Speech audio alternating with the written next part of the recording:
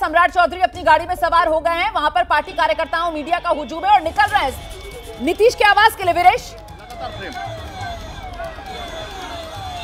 जी, निश्चित रूप से सम्राट चौधरी निकल रहे हैं। उनके साथ आप देख सकती हैं, तमाम विधायक निकल रहे हैं। अफरा तफरी का माहौल है। उत्साह भी है। जय श्री राम के नारे लग रहे हैं। सम्राट चौधरी को हमने कैमरे में कैद किया। देखिए सम्राट चौधरी का ये जो काफिला है, वो निकल रहा है। भारतीय जनता पार्टी में जय श्री राम के नारे के साथ उद्घोष हो रहे हैं सम्राट चौधरी।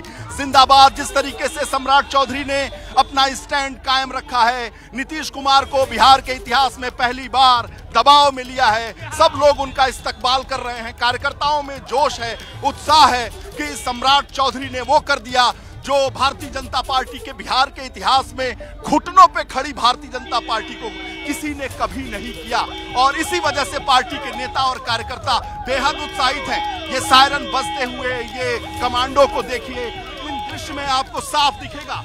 ये विधायक नेता, ये नागेंद्र त्रिपाठी। तकनीकी दिक्कत आ रहा है। नेटवर्क का इशू है। दोबारा आपके पास आऊँगी। एक ही गाड़ी है। अगर आपने गौर किया हो तो उस गाड़ी की आगे वाली सीट पर विनोद तावड़े बैठे हुए नज़र आए और पीछे की सीट पर एक ही गाड़ी में सम्राट चौधरी भी मौजूद हैं, विजय सिन्हा भी मौजूद हैं और साथ ही बीजेपी के अन्य विधायक जो हैं, अब ये गाड़ियों का काफिला जो बीजेपी मुख्यालय से निकल रहा है पटना में और पहुँच रहा है नीतीश कुमार के आवास पर। जहाँ जानकारी यह दी गई बीजेपी की तरफ़ से कि एनडीए के विधायकों की बैठक होगी और वहाँ पर आगे का फैसला लेकर सीधे राजभवन जाया जाएगा नई सरकार बनाने का दावा पेश किया जाएगा। फिर से रुक करते हैं अंकित गुप्ता का अंकित जो डील फाइनल हुई है उसमें खुद सम्राट चौधरी की तरफ़ से मीडिया के सामने ये बात कह देना। जी जी जी अंकित अंकित। अच्छा अभिषेक के पास चलते हैं वहाँ से कुछ अपडेट आ रहा है। अभिषेक क्या अपडेट है? देखिए बीजेपी, बीजे, बीजेपी के विधायक पहुँचना शुरू कर गए हैं। यहाँ पर सीएम आवास पर एक के बाद दूसरे आपको दिखा रहे हैं सीएन गुप्ता। ये देखिए, ये बीजेपी के विधायक हैं सीएन गुप्ता। सीएम आवास पहुँचे हैं इधर से दिखाइएगा।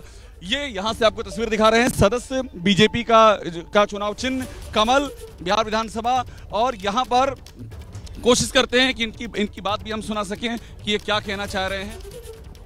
विधायक दल का नेता किसे चुना जाएगा? BJP BJP. तो वहाँ चुना होगा ना। अभी यहाँ कैसे कर देंगे आप? आप पहले विधायक हैं जो तो ये देखिए, ये सब, ये रिएक्शंस दे रहे हैं। लगातार तो मैं आपको तस्वीर दिखा रहा हूँ, एक के बाद दूसरा देखिए यहाँ पर। बीजेपी के विधायकों के पहुँचने का सिलसिला यहाँ पर शुरू हो गया है। आपको हम ताज़ा तस्वीरें दिखा रहे हैं। अंदर की ओर जाते हुए सीएम आवास में यहाँ दिखाई दे रहे हैं हमको, एक के बाद दूसरे नेता। तो ये सब बहुत ही तेज़ी से घट रहा है, सुमेरा रोमाना, एक के बाद दूसरे जो विधायक हैं, वो यहाँ पर पहुँच रहे हैं। जी।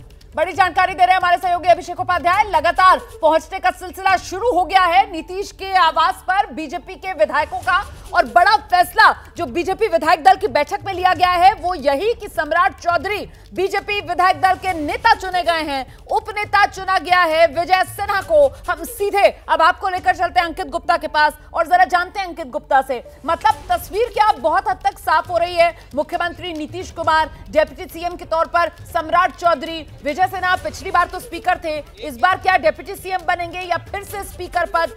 कुछ जानकारियाँ इसको लेकर क्या रहने वाला है? सरकार का फॉर्मूला, शक्ल इस नई सरकार की अंकित।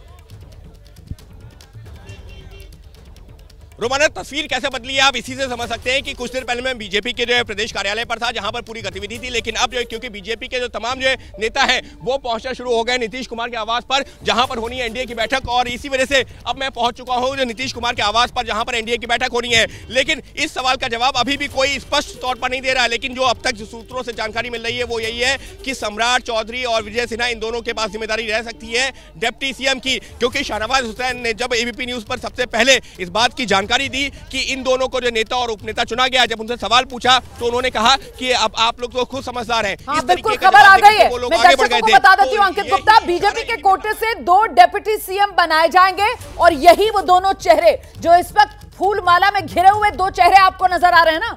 एक सम्राट चौधरी का है बीजेपी के बिहार अध्यक्ष और दूसरा विजय सिन्हा का है जो अभी नेता विपक्ष। तो ये दोनों इन्हीं को डेप्यूटी सीएम बनाया जाएगा। इस नई सरकार में दो नए डेप्यूटी सीएम, बीजेपी के कोटे के सम्राट चौधरी और विजय सिन्हा। सीधे आपको लेकर चलते हमारी सहयोगी निधि श्री मौजूद हैं, नीतीश कुमार के आवास के बाहर और वहाँ पर जो हलचल बढ़ रही है और कौन कौन से बीजेपी के विधायक अभी तक पहुँचे हैं निधि, अपडेट क्या है?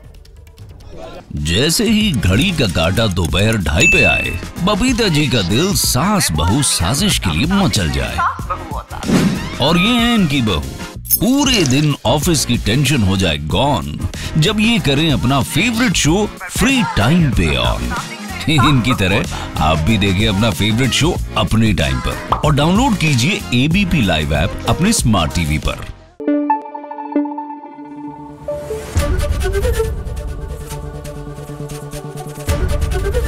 एबीपी न्यूज़ आपको रखे आगे.